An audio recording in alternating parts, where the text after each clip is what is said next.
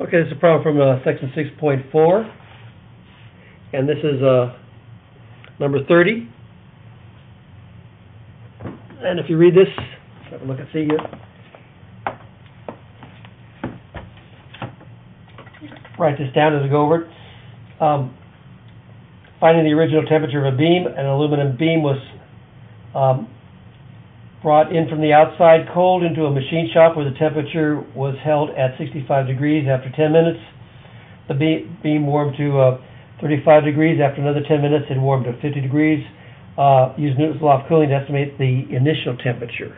That's the initial temperature. So my surrounding temperature is going to be 65 degrees because I bring the beam in. After 10 minutes, its temperature, its current temperature is 35 degrees.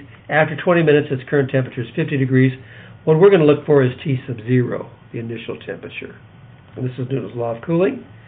T minus T sub zero, e, I'm sorry, T minus T sub S equals T sub zero minus T sub S e to the minus or negative KT. Now we don't have the K, and we've got some times there, so we're going to kind of have to use a tricky little way to find this out. So you'll you'll see what happens. First of all, I've got two situations.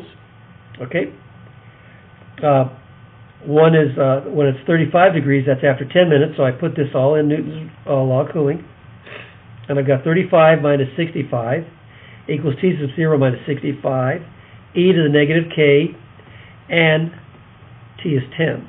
Now you'll say, well, we've got two unknowns here, but we do have two equations, so we can use, we can solve those. You have two equations, you can solve two unknowns. Okay, the second situation, okay, uh, my temperature is 50 degrees.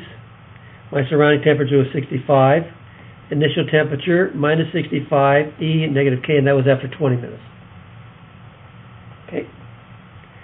So I've got these two equations now. Let's kind of multiply these out. Uh, the equation number one can simplify, I should say. That's going to be negative 30, T minus 65, E to the negative KT. And then if I multiply, if I uh, simplify this out, this to be negative 15. Uh, T sub 0 minus 65, E to the negative K times 20. So these are my two equations, and I simplified them. My two situations. Hope you can read this, because I didn't have time to redo it in ink. Sorry. Now, we've got two equations with two unknowns. Now, if we, if this left equals the right, and this left side equals this right, then we can divide both sides of the equation by the same side or by the same quantity or equal quantities, and we'll get the same values, or we will maintain our equality. So that's what I'm doing. I'm going to divide this by negative 15. I'm going to divide this by this, which is the same thing as negative 15. So actually, I'm dividing both sides by negative 15.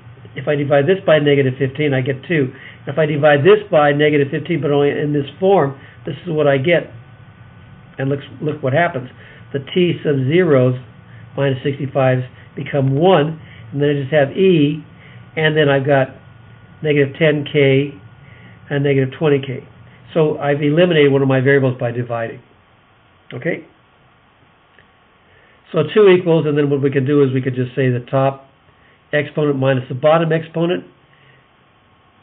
So it ends up that 2 equals e to the 10k. So now I'm going to be able to find k. So if I know that 2 equals e to the 10k, if I take the natural log of both sides, and then I bring the 10k in front, and the natural log of e is just 1, I have the natural log of 2 equals 10k, then if I divide both sides by 10, k equals the natural log of 2 over 10. So now I can go back and I can put this into either one of my equations and solve for the other unknown. So I, I just used uh, equation number one up here in this form, negative 30, t sub 0 minus 65, e to the negative, and instead of k, I found out what k was. That's negative the natural log of 2 over 10 times 10. That actually worked out to be an easier one to do anyway. But you could put it in either equation, it would work. And then that's going to end up being equal, if I take a look at this, it's going to be um, negative 30 equals, and I'm just simplifying over here, t minus 65e, and then uh, negative, and then the 10s cancel. Okay? Um, now, e to the negative natural log of 2. e to the negative natural log of 2 is the same thing as 1 over e to the natural log of 2. So this is just over here. That's what this is. All right, so we're just kind of simplifying e to the negative natural log of 2 because that's 1 over e to the natural log of 2. Now, e to the natural log of 2, this is the exponent then when I raise e to it I get 2, so that's just going to be 2. So that's 1 half. So this all over here is 1 half, so I just have negative 30 t sub 0 minus 65, and all this is just 1 half.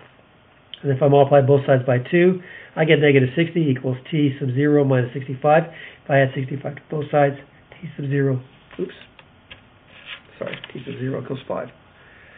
So again, this is a little bit of your logarithms. Remember, e to the negative log 2, okay, that's the same thing as, I, I just did this over here, 1 over e to the natural log of 2.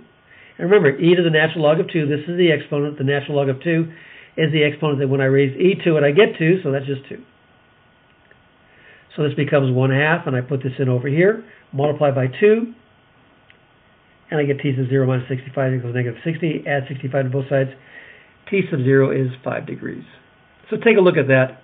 Hope you can read it. It's a little faded over here, so try to work it out. That should give you enough to be able to work it out on your own. Okay? Hope that helps.